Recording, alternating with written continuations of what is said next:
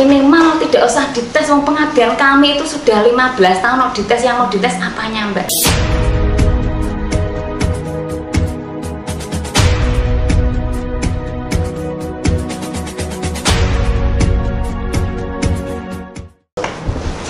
Melihat dari kemarin webinar Pak Nadim dengan Kemendikbud dengan Kemendari Kemenkeu di YouTube atau di media RB. Menpan RB itu itu kami selaku honorer yang 315 hanya bisa memberikan saran hanya bisa memberikan masukan kepada pemerintah agar kalau memang itu diadakan tes P3K itu paling tidak yang khusus 315 itu itu paling tidak diutamakan itu mode itu dan apabila tuntutan kami yang sudah kami layangkan ke pemerintah kemarin senusa se Indonesia yang eh, apa namanya itu Garuda Emas yang kita dapatkan dukungan dari pemerintah masing-masing itu kan kita ada dua tuntutan yang pertama adalah kita menuntut untuk eh, mendapatkan kepres PNS tanpa tes yang kedua memberikan gaji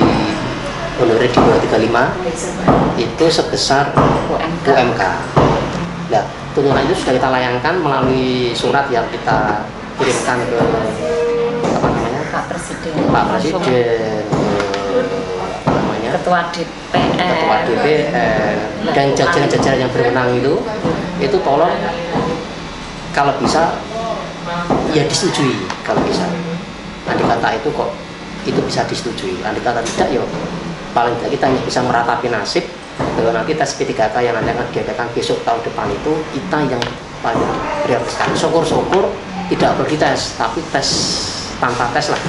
P3K tanpa tes. Itu khusus yang 315 ke atas di honorer negeri dari moratorium PNS yang lama itu tidak ada penerimaan PNS pemerintah hanya mengetahui honorer itu K2 K2 K2 padahal honorer yang selain K2 itu ada seperti kita itu ada nah seiring berjalan waktu dengan ada rasa senasib sepenangga ini se-Indonesia yang merasa seperti kita yang tidak K2 itu tergabung dalam forum GTK HNK 35 plus. 35 adalah 35 yang usianya di atas 35 tahun yang sudah tidak bisa mendapat PNS karena PNS kan masing-masing kan usianya 35 tahun. nah setelah terdaftar ini tuntutan kita ada dua. Satu menuntut kepres PNS tanpa tes.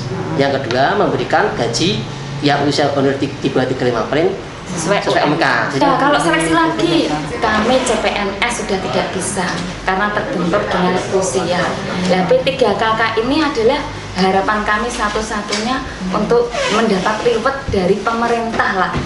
Minimal tidak usah dites, wong pengabdian kami itu sudah 15 tahun mau dites yang mau dites apanya mbak? Berarti rata-rata 15 tahun ibu ya? Ada yang 15, 10, 12, saya sudah 15 tahun mbak.